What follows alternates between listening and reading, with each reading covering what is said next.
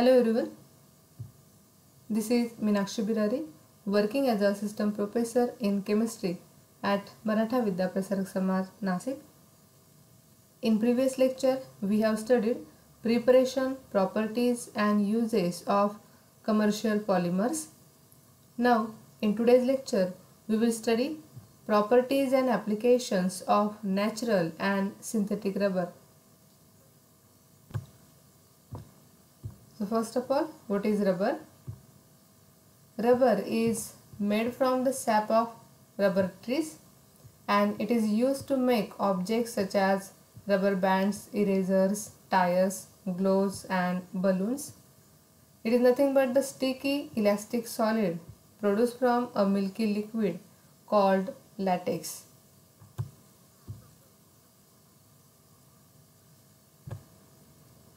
So rubber is a material which can be stretched and shrink.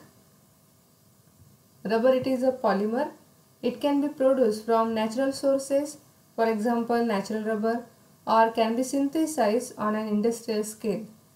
Many things are made from rubber like gloves, tires, plugs and masks. A few things can be made only from rubber. Sometimes the word means only natural rubber or also called latex rubber. Natural rubber is made from the white sap of some trees. So we can observe here that is the sap of rubber and other elastomers called synthetic rubbers are made by chemical processes. So it is rubber? Rubber it is a polymer, it is a material which can be stretched and shrink.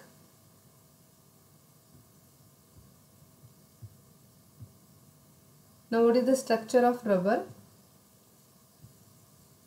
We know that a material that can be stretched and will retract rapidly and forcibly to substantially its original dimensions upon release of the force called as rubber. When we observe the structure, we get isoprene units. These are monomer units undergo polymerization to give natural rubber that is polyisoprene. So natural rubber consists of repeating units of isoprene having the name 2-methyl-butadiene or 2-methyl-1,3-butadiene which is joined to each other in cis geometry to give natural rubber which is a polymer polyisoprene that is a polymer. We should remember isoprene units these are the repeating units 2 methyl 1 3 butadiene joined to each other in cis geometry. So this one is the structure of rubber. Now what is isoprene? Isoprene it is a common organic compound with the formula CH2 double bond C CH3 CH double bond CH2 and this one is made by processing of latex and the latex is colloidal dispersion of rubber particles in water. The latex is coagulated by acetic acid, formic acid, potassium or ammonium alum. When cheese-like mass separates out, this is passed through rollers after washing with water to obtain a pale yellow variety called crepe rubber. Isoprene undergo polymerization to give polymer which is known as a polyisoprene and natural rubber. So this, this one is the structure of isoprene 2-methyl-1,3-butadiene joined to each other in cis geometry in the process of polymerization to give natural rubber which is polyisoprene.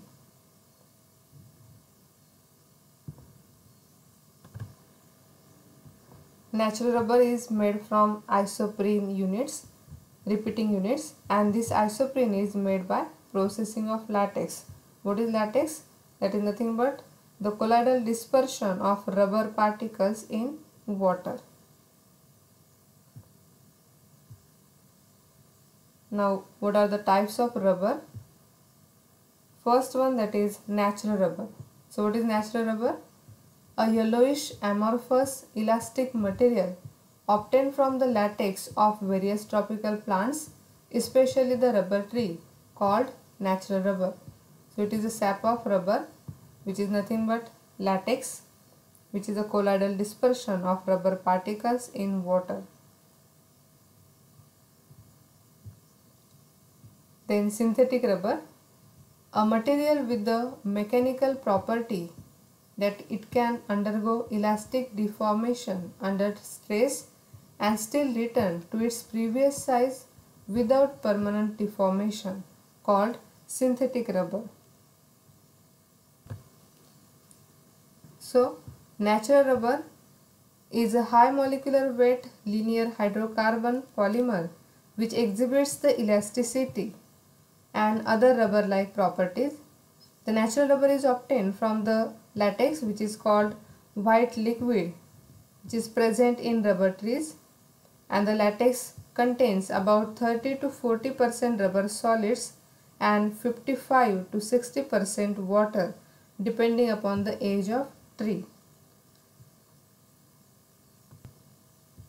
And synthetic rubber that is artificially prepared rubber like product which can be stretched more of its original length and returns rapidly to its original shape and dimensions when the stretching force is released. So such a material is called as synthetic rubber. The first synthetic rubber was made in Germany during World War I when Allied forces of America, Britain cut off the supply of natural rubber to Germans. And the starting material was 2,3-dimethyl-butadiene which is a monomer which on polymerization give synthetic rubber. Let us see properties of natural rubber in detail. We know that natural rubber is a high molecular weight linear hydrocarbon polymer which exhibits elasticity and other rubber-like properties and the natural rubber is obtained from the latex which is a white liquid and it is present in rubber trees. The plants would be tapped that is an incision made into the bark of the tree and the sticky milk colored latex sap collected and refined into a usable rubber. It is normally stretchy, flexible and extremely waterproof in nature. The latex uh, contains about 30 to 40 percent of natural solids and 55 to 60 percent of water depending upon the age of tree.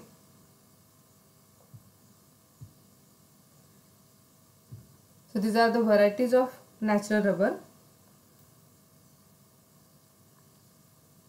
Natural rubber it is obtained from the latex white liquid which is present in rubber tree.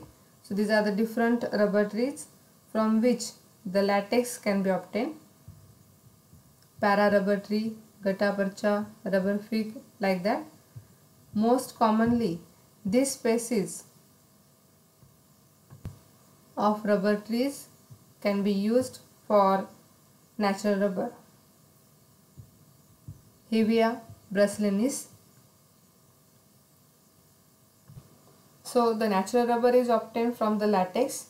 The latex is a colloidal dispersion of rubber particles in water and the latex is coagulated by acetic acid, formic acid, potassium or ammonium alum. When cheese-like mass separate out, this is passed through the rollers after washing with water to obtain a pale yellow variety and that variety is called as a crepe rubber. So from different varieties of trees, the natural rubber can be obtained. Now what are the properties of rubber? Natural rubber is an amorphous solid. It is a transparent, tough, elastic substance which is soluble in benzene, chloroform, carbon disulfide, etc. Since it is colloidal in nature, it has no definite melting point or boiling point. it becomes soft and sticky in hot summer while in cold weather it becomes hard and brittle. So these are nothing but the different properties of rubber. So in short, they possess elasticity, tensile strength, flexibility, solubility, abrasion resistance.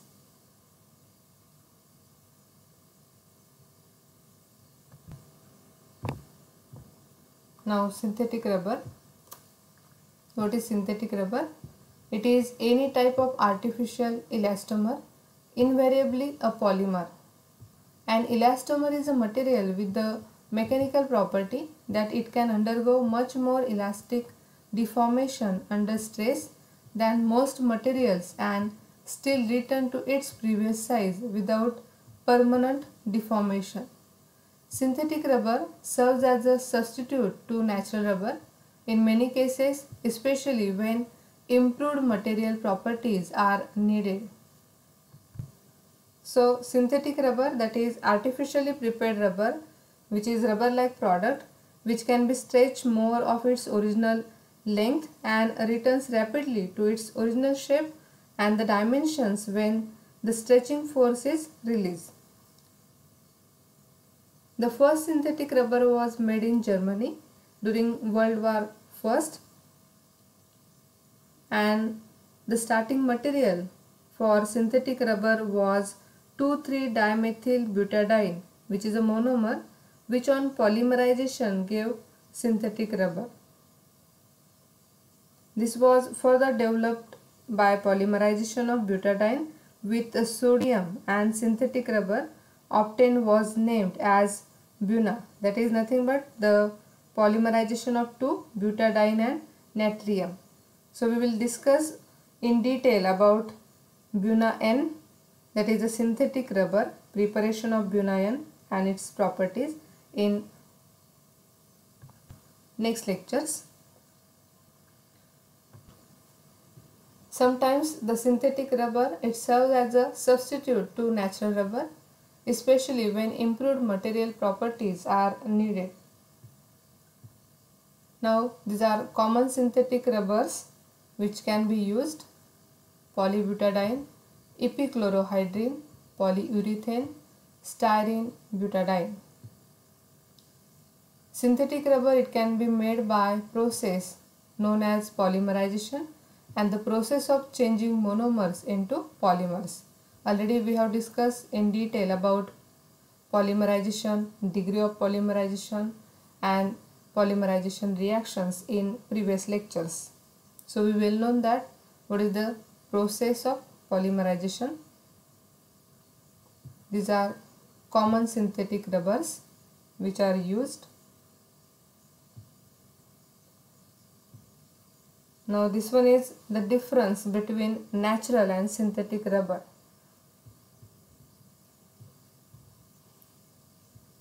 Natural rubber here we know that it is obtained from latex that is white liquid which is present in rubber trees. So biosynthesis in hevea or in other plants it gives natural rubber so that is the source and for synthetic rubber, what is source? Crude oil byproducts or emulsion polymerization. Then the second point, production location. Natural rubber here geographically limited based on production spaces but synthetic rubber not limited geographically.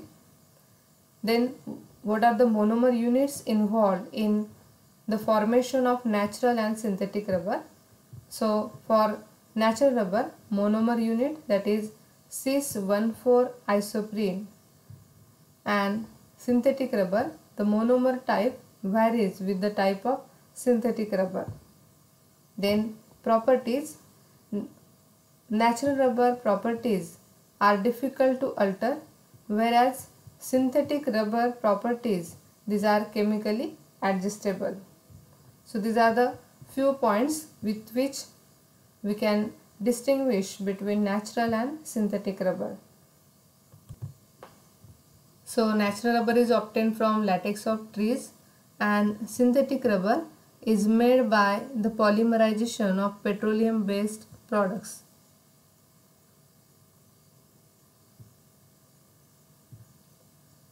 There are numerous examples of natural and synthetic rubbers. We will be discussing some of them here. Polyisoprene, Buna-CB, butyl rubber, neoprene, silicone rubber, Buna N, Buna S. So these are natural and synthetic rubbers.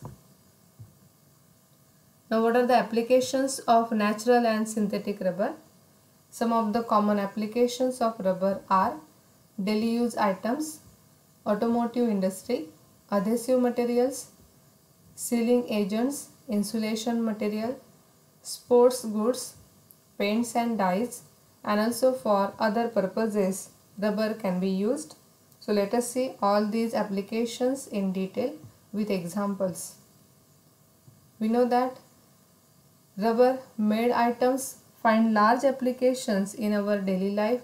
Household items such as shoes, clothes, remote controls, storage bins, etc.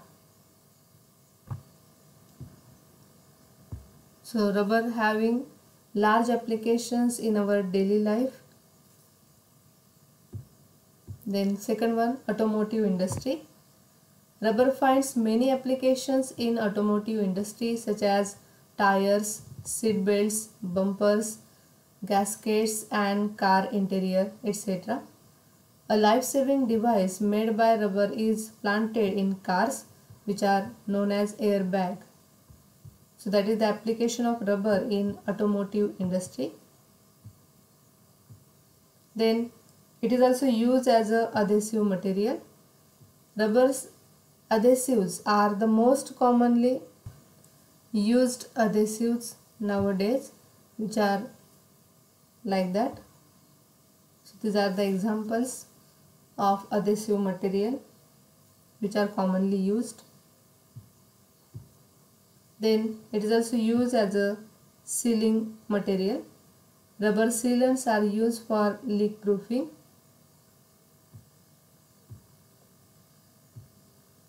Rubber is used as insulating material for protection against heat and electricity.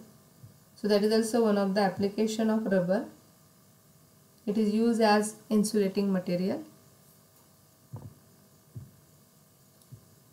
Rubber is also used in making many sports goods such as grips, basketball, football, padding, etc.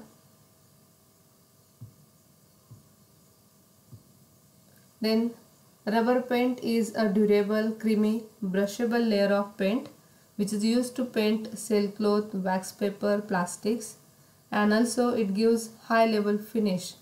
So one of the application of rubber that is in paints and also used as a dye. So these are other applications of rubber in medical and dental field, in making toys, in making rubberized asphalt and in making of packing equipments and so on rubber having applications. So in today's lecture we have studied introductory part of natural and synthetic rubber also we have studied applications of rubber. In next lecture we will study vulcanization of rubber and processing of rubber. Thank you.